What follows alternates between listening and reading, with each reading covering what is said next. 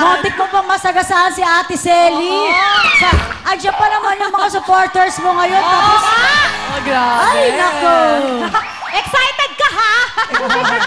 Monday na Monday. Daming energy. Dami na Excited siya sa no? Monday na Monday. Taas? Ang taas Oo, ni ang Wayway. taas ng level ng pagka-energy. Yes, I love it. Grabe, kitang-kita talaga contacts mo. Talaga? Nagulat ka? Nagulat. O, sabay tayo mamaya kakain, ah.